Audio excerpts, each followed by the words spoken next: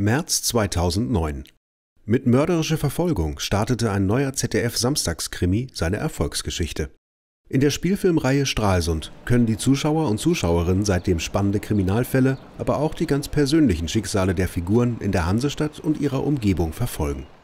Die Samstagskrimis sind beim Publikum immer besonders beliebt und nahezu jedes Wochenende die Sieger der Einschaltquoten. Der Stralsund-Krimi ist da keine Ausnahme.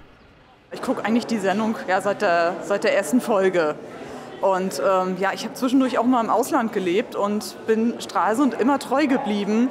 Also auch wenn es da irgendwo hieß, Stralsund-Krimi läuft, dann habe ich abends vom Fernsehkasten gesessen. Dann ja, sind auch Termine ausgefallen, wo ich gesagt habe, nee, Stralsund-Krimi ist heute wichtig. Und wir rätseln immer, ähm, wo ist es hier in Stralsund? Kennen wir diesen Ortsteil? Äh, manchmal ja, manchmal nein. Und ähm, ja, ich finde ihn spannend auch. Ist gut aufgezogen.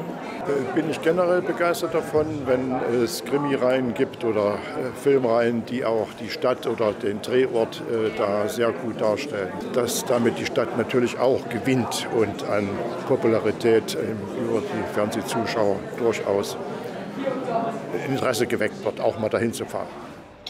20 Folgen lang spielte Katharina Wackernagel die Hauptfigur Nina Petersen. Seit 2023 ermittelt nun Kriminalhauptkommissarin Jule Zabeck am Sund. Die Fußstapfen sind groß, doch die neue kann diese durchaus füllen. Also Katharina Wackernagel war mir natürlich sehr sympathisch gewesen und ähm, ja, als so die erste Folge mit, ähm, mit Sophie Fenningsdorf lief, musste man sich erstmal dran gewöhnen. Wenn ich sie jetzt so an dem, an dem heutigen Nachmittagabend gesehen habe, ähm, ja, ich, ich mag sie und äh, ich freue mich auf weitere Folgen mit ihr. Sophie Fenningsdorf studierte Schauspiel und war danach sowohl auf dem Bildschirm als auch hier im Norden auf den Theaterbühnen zu sehen. Das Krimi-Genre ist für die gebürtige Leipzigerin kein Neuland. So spielte sie bereits Episodenrollen im Tatort der Soko und anderen Krimiserien. Der aktuell gedrehte Film ist nun schon ihr fünfter Einsatz für die Stralsunder Mordkommission und es wird wohl nicht ihr letzter sein. Denn sowohl im Team als auch in der Stadt am Sund fühlt sie sich sehr willkommen. Ich würde sagen, wir sind ein gutes Team, oder? Ich würde jetzt sagen, ich wurde sehr herzlich von Alexander aufgenommen. Ähm, und es war von Anfang an sozusagen ein, ähm, eine gute Arbeitsatmosphäre. Und es ist schön, dass wir sozusagen ähm, uns manchmal vielleicht besser verstehen als unsere Figuren.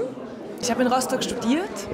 Ähm, doch, ich kannte Stralsund, aber ich bin halt auch viel durchgefahren, weil es natürlich zu Rügen sozusagen auch die Transitstadt ist. Das war es für mich lange. Aber doch, ich fühle mich hier tatsächlich äh, äh, gut aufgehoben, vertraut. Das ist mir nicht fern. Es gibt ja Städte, die haben eine Atmosphäre, die ist einem nicht ganz eigen. Das, man passt nicht ganz rein. Und ich finde, ich passe hier ganz gut rein. Ja. An ihrer Seite steht Karl Hiddel, der bereits seit Folge 2 dabei und inzwischen zum Revierleiter aufgestiegen ist. Sein Darsteller Alexander Held ist ein alter Hase im Schauspielgeschäft und steht aktuell sogar bei gleich zwei Samstagskrimis vor der Kamera.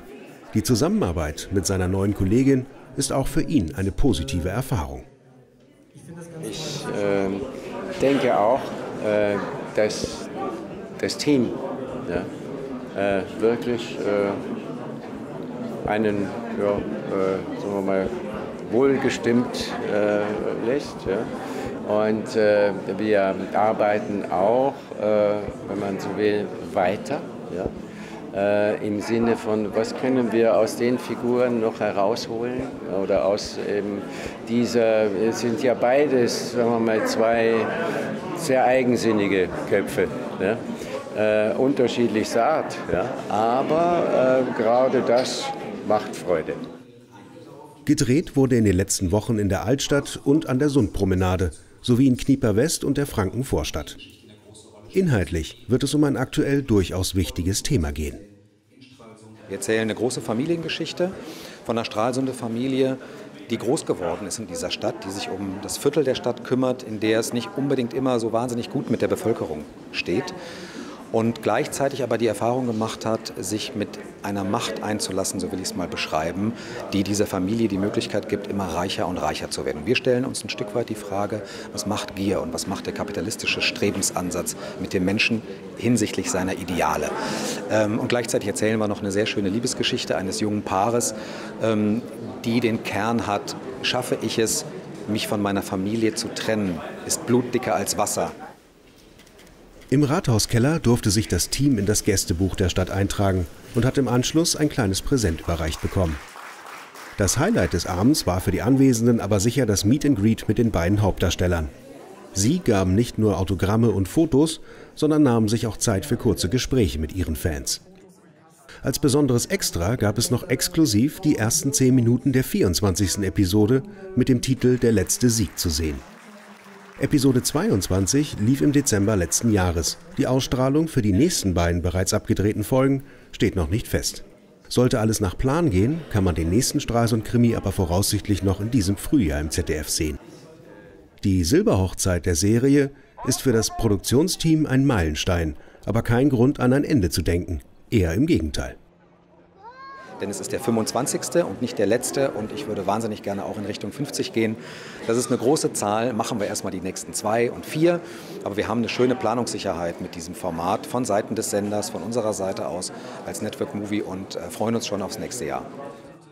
Die Stralsunder und Stralsunderinnen können sich also auch weiterhin darauf freuen, spannende Fälle in den Straßen ihrer Heimat zu verfolgen.